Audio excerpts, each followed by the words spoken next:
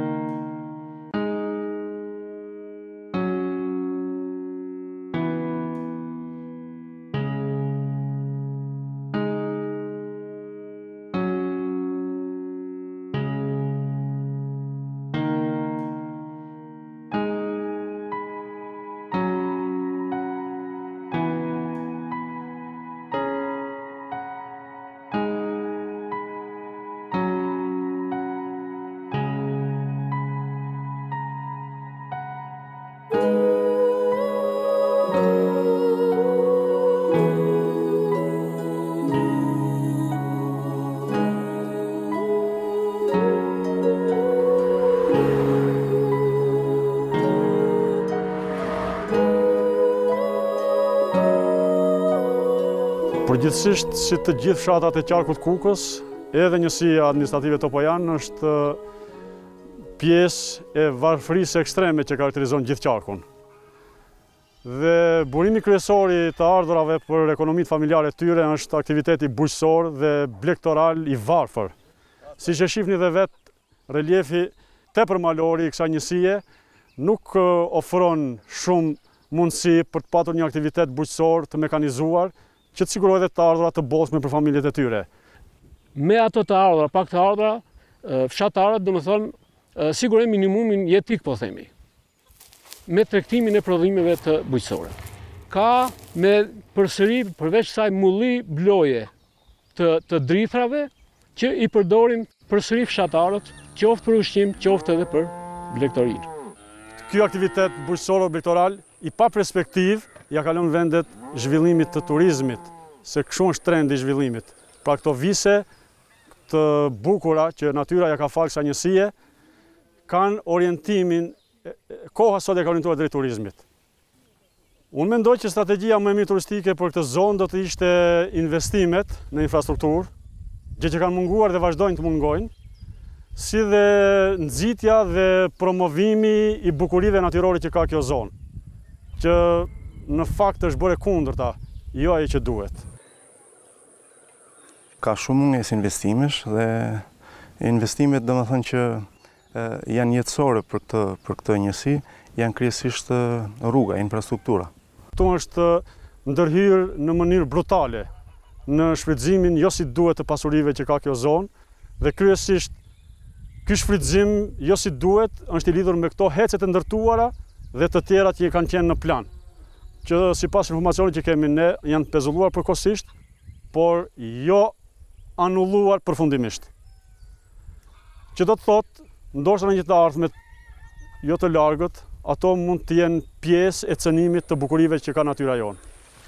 Kujtime nga lumi, nga fëmijëria kam sepse në moshën kur kemi qenë që nga klasa e dytë dhe deri në moshën 20 vjeç kur jemi largu për të kryer shërbimin e detyrueshëm ushtarak, ne gjatë kohës së verës Jemi fresku atje ke lumi poshtë, ke ura e Topojanit, atje ku ka fillue edhe masakra që janë është bo kësaj zone padrejtësisht. Deri me një fe kohe i kemi gëzu, deri sa kanë arritë që lumet tanë i kanë zhdukë fare, po na kanë vune një kusht tjetër hala ma t'ranë, e kanë shpallë zonë e mbrojtme Po zonë e burgosme, si është kjo zonë e mbrojtur me pa ujë, pa dobitë e popullit?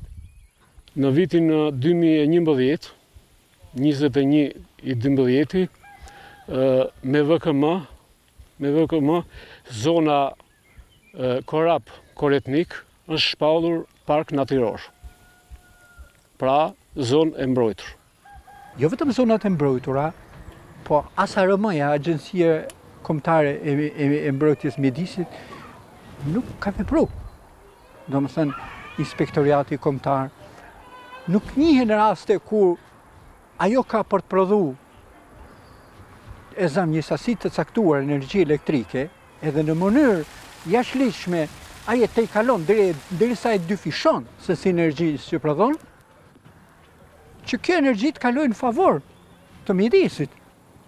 Domethënë t'i jepet fshatarëve, t'i jepet një kopshti, t'i jepet pyllëzimit shtratit lumit, t'i jepet peshkëzimit lumit.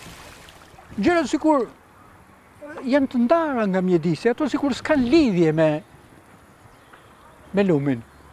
Ato janë kthy, domethënë, Si fabrika këpucësh, i kanë thënë me bo 10 këpucë, i bëni 30 këpucë dhe favor e ka ata. Dhe efektin e atyne 30 këpucëve, atyne 10 këpucëve që prodhojmë atë, pra efektin e asaj 10.000 kuintal, 10.000 kilovat energji elektrike që prodhojmë atë, pra e ka bo damin, se dam është ai. Në periudhën e reshjeve rrugët tona vërshohen nga prurjet e lumenjve, nga të përrenjve, bllokohen dhe Fadromat e këtyre HEC-eve rrinë aty pranë dhe nuk e marrin iniciativën asnjëherë për t'i pastruar këto rrugë, që mund të jetë një nga shërbimet më të vogla që mund të përfitojnë banorët e këtij komuniteti. Mirë që po bëjnë një një investim të tyren, domethënë për përfitimin e tyre, por ato nuk kanë shpalosë një kështu program për për të ndihmuar zonën, për për të rregulluar një rrugë, për të rregulluar një kanal vaditës, për të mirëmbajtë rrugën dimrit, për shembull se bllokohet me shumë borë, domethënë ato janë inekzistent. Në vendin ku kemi tokat ne, ne kemi kanalin vaditës që vaditim mbi tetëdhjetë familje të dy fshatrave, tetëdhjetë familje. Kanali është me gjatësi pesë pikë pesë kilometër. Është i matur në kohën e kooperativave bujqësore. Dhe me atë kanal ne vaditim, në qoftë se këto do bohen, i bie që mu aty ku marrim ne ujtin për ta fut në kanal për ta pru, atje sipas informacionit e të dhonave që kemi ne, atje i bie, i bie që këta zaptus të shkojnë dhe të futin tubin. Po ta vlerësojmë nga pikëpamja ekonomike, ne themi që privohen mjaft ekonomitë, gjitha ekonomitë fshatare nga e drejta për ta përdorur ujtin për vaditje apo si ujt të pijshëm. Duke qenë se ujti do të futej në tubacione. Banorët e kësaj zone janë në errësirë informative lidhur me këtë. Vetëm kur kanë parë makineritë e rënda duke duke gllabëruar pasurinë që ka kjo zonë, duke hap vende për tubat, ato veprat e marrjes, asnjë informacion. Kur erdhën hidrocentralet e para, domethënë para shtatë tetë vitesh, njerëzit ishin në atë idenë që po bëhet investim, do punësohen njerëz, ishte edhe kjo pjesa që Njëkohësisht u rregulluar edhe rruga Kukës Shishtavec, edhe ishin njëkohësisht domethënë investime dhe duke menduar që po bëhen investime dhe e ngatërruan njerëzit rrugën me hidrocentralet.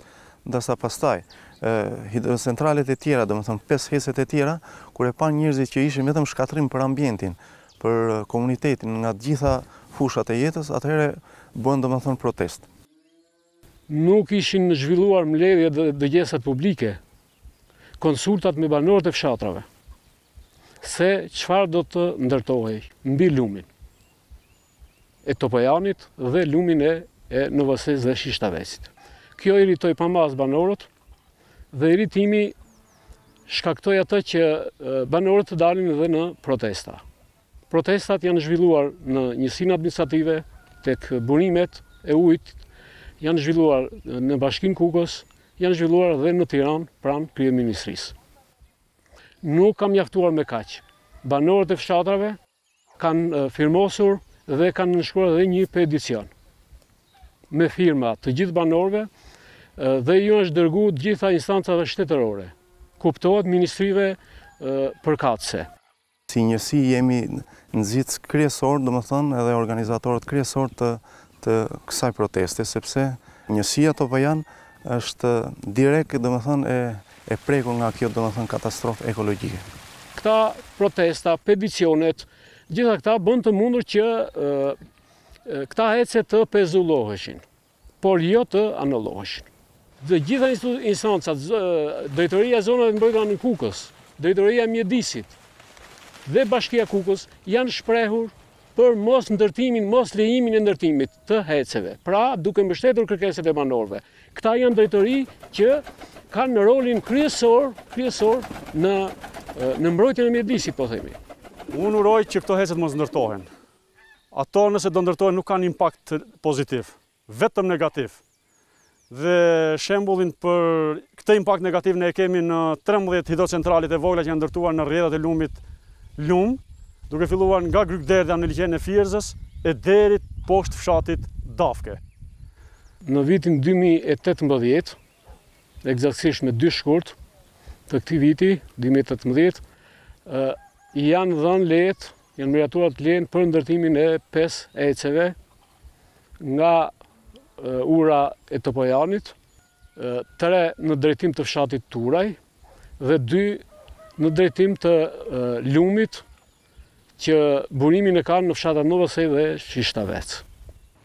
Këto janë të, të një është italian, katër janë të euro, euron, Euronic Energy, edhe një është i Hydropower Energy, e një tjetër Albuilding. Pothuajse çdo kilometër në pjesën e, në rrjedhën e mesme të lumit Luma ka një hidrocentral. Difekti është sepse kur hidrocentralet janë bo, studimi biologjik që është bo për to, studimi mjedisor, licencat mjedisore, merren Ose dorëzohen nga njerëz që nuk kanë jetu asnjëherë në Kukës. Kanë maru universitete, kanë maru çka kanë maru, bëjnë licenca me Google. Tani kur vjen kur vjen puna Në realitet, lumi ndjehet në vështirësi. Të gjithë këto hidrocentrale e marrin ujin nga njëri tjetri duke lënë shtratin e lumit bosh. Lumi nga ana biologjike është i vdekur. Në gjithë monitorimet që bëjmë neve, në lumë, në disa pika, edhe në përroin e Orgjostit, edhe në projnë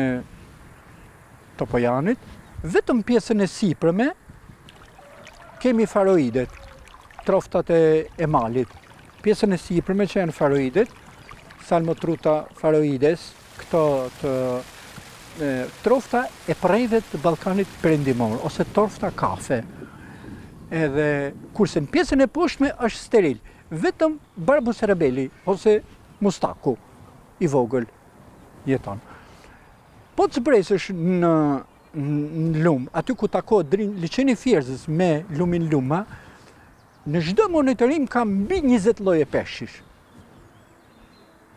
Po të futesh në lumë, lumi është steril. Domethënë, nga ana biologjike, ai është i vdekur. Problem tjetër është, mungesa e ujit përmbi shtratin e lumit, bën që falda ujore, ose shtresa ujëmbajtëse, dalëngadalë të bjerë poshtë. Bie poshtë sepse Duke qenë vazhdimisht e thatë, shtrati i lumit kërkon në çdo mënyrë me osmoza, me hidratime, me kanale kapilare, me me filtrime, kërkon ujë nga malet. Edhe bën që burimet që sot për sot i shfrytëzojnë fshatarët për ujë, për vaditje, për këtë, dalëngadalë të fillojnë edhe zbresin poshtë. fillojnë e shterojnë ujërat. Domethënë, ajo që thonë ndryshimi i klimës, po vihet re, në qoftë se në fillim kishte 6 metrë kub ujë sekondë, sot i ka 5.5 mesataren. Pra, dalëngadalë, sasia e ujit po bie. Ne jemi zonë shumë e thellë, kontinentale, domethënë, kemi malet shumë të larta dhe ajo është mes malesh, po shpejt do t'i vijë dita që ajo fal këtë mungesën e theksume të ujit. Kemi një shkatërrim, një katastrofë mjedisore. Kemi një ndotje mjedisore. Kemi një prishje të ekosistemit në tërësi, kemi një prishje të biodiversitetit, Mjaft lloje bimësh, pasi zona jonë shquhet për bimë medicinale, domethënë të llojeve të ndryshme. Njihen deri në 390 bimë medicinale që rriten në gjendje natyrore. Një ndër problemet që ka lumi Luma është tributari ndër tributarët kryesorë që ka Drini. Domethënë ai bjen mesatarisht rreth 6 metrë kub ujë për sekundë. Ka momente në rastin e vërshimeve kur Luma shkon edhe 100 edhe 200 metra kub ujë për sekond. Pra është një rrënim i vërtetë, është një, një, një, një, një masë dheu që bjen sasira të konsiderueshme të maleve të Koritnikut, të Gjallicës, të maleve të Shishtavecit, deri te lumi, te mali i Vracës. Një një prru që lidhet ndërmjet prroit të Orgjostit edhe prroit të, të Topojanit. Këto të dy, ai njëni bjen 3.5 m kub ujë për sekundë, kurse ky tjetri rreth 2 m kub ujë për sekundë. Domethënë, është një, një gjë e rrëmbyer që nis për 30 km nga 2000 m lartësi edhe zbret në 300 m lartësi që është sipërfaqja e liqenit të Fierzës. Gjithë fondi kullosor, imagjinoni po të ndërtohen ata HEC-e, do të shkatërrohet plotësisht. Do të shkatërrohet madje edhe fauna e egër. Kalojmë në plan nga plani kullosor në planin pyjor. Mjaft pyjet, ndonëse ka nga shkurret deri tek tek pyjet e larta, përsëri edhe pyjet do të do të dëmtoheshin. Pra do të kishim një katastrofë ekologjike. Ajo që është e pashpëtueshme nuk shpëtohet dot. Domethënë, ne nuk dimë çfarë dami bëjmë. Ne kemi bentosin, kemi klasat e tjera të popullatës peshkore, po kemi edhe botanikën në ta, kemi bimët e ujit, kemi bimët e larta, kemi kafshët, kemi brejtësit, kemi gjithë ato probleme me pellgun ujëmbledhës. Nuk është se kemi vetëm vetëm peshqit. Tani ne nuk e dimë se çfarë prishim, sepse studimet tona nuk janë më shumë se sa 10 vjeçare. Ne nuk kemi studime të viteve 80, të viteve 90, të viteve 2000. Studimet tona fillojnë 2014-ën. Mirëpo kjo është shumë pak për, për të qenë konkret me ditë se çar, çar po humbet. Gllabruesit Që kan shkatru venin të na rikthejn siç e kemi pas ta lirojn poplin ta gzojn ujn ta gzojn malin me kriter e të gjitha gjanat qi i ka i përmba ligji. Mëkëmbet. Mëkëmbet me me me me monitorimin edhe rikthimin atyre që ne dim se i ka pas. Qoftë se ti për shembull mendon se ka pas mustakun, ka pas të, ka pas të popullat. Ka pas këto lloj bimsh edhe edhe prap e i mbjell e, i trajton e, i menaxhon e, i rikthen, kthen gjitarët, kthen peshqit, kthen. Po prap atë që e kishte endemike s'e merr dot. S'bëhet fjalë domethënë që nuk do nuk do ndërtohen, se populli është shumë i vendosur për mos t'u ndërtuar. Ajo domethënë është kështu, është taksative, domethënë janë shumë të vendosur. Por e zëmë sikur të ndërtohen, domethënë thjesht kjo zonë shkretohet e gjitha. Më mirë domethënë shteti të marrë masa t'i t'i zhvendosë fare se do kalojë një vend Kandahar, një vend i shkretirës, sepse çdo gjë lidhet me ujin. Ne, unë i bëj thirrje gjithë komunitetit që nëse marrim vesh që do fillojnë ndërtimi, ne duhet të bëhemi njësh që të mos lejojmë aspak ndërtimin e tyre. Por, duhet të bëjmë pamundurën ose të përfitojmë nga këto që janë ndërtuar, ose të bëjmë t'i t'i t'i shkatërrojmë. Ky vend është në këtë gjendje siç është sot për shkak se në periudha të caktume të historisë njerëz të Topojanit kanë dhënë jetën. për ta mbrojtë nga nga pushtuesit, nga gllabruesit. Domethënë, stërgjyshërit tanë janë vrarë nga pushtuesit dhe kanë dhënë jetën për këtë vend. Kështu që ne na del detyrë që të shkojmë në gjurmët e tyre për ta mbrojtë. Ta dinë mirë këto që na kanë marrë ujnat e këto. Po të ishte për të luftu ne për këtë vatan, jemi siç kemi të trembëdhjetës, si kemi vorrezat, si kemi baballarët tonë me serbin. Ama në mustadia i personi që na ka sundu se se se vrasim edhe ata, po ne nuk kemi qejf të vrasim vllanë tonë apo shtetasin tonë.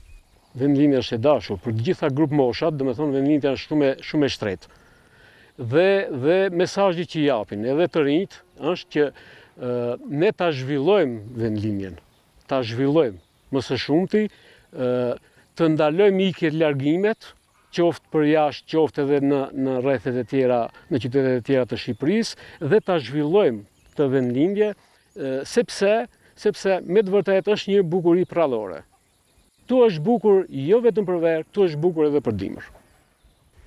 Zoti mu m'i ka fal edhe ishalla i run katër çuna. Një ja ku është shifeni sa se sa shpresë ka e ça fizionomie ka në këtë vend.